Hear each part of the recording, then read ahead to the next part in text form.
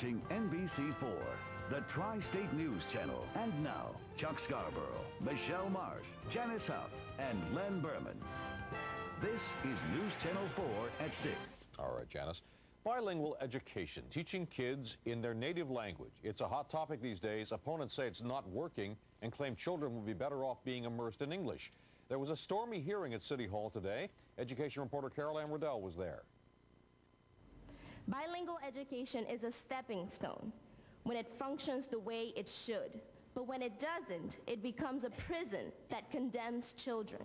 A prison, critics argue, because too many children who don't speak English are trapped in bilingual classes for years on end.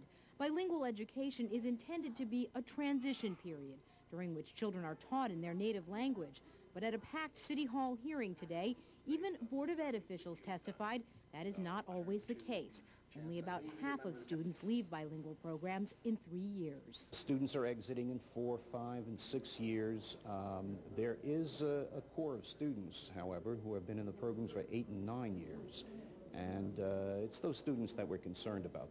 So what's the answer? Some say an English immersion program. Teaching kids in English should be an option for families. Randy Mastro heads Mayor Giuliani's task force on bilingual education. He says the idea is not to do away with bilingual classes, but to give parents another alternative. We all care about the same thing, helping our kids perform better, helping improve their educations.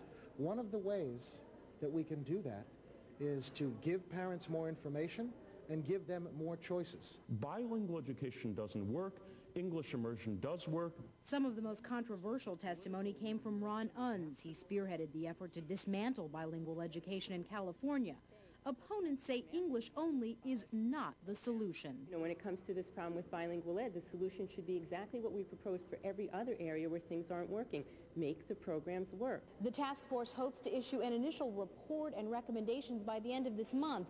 The ultimate goal, getting changes in place by the start of the next school year. At City Hall, Carol Ann Riddell, News Channel 4.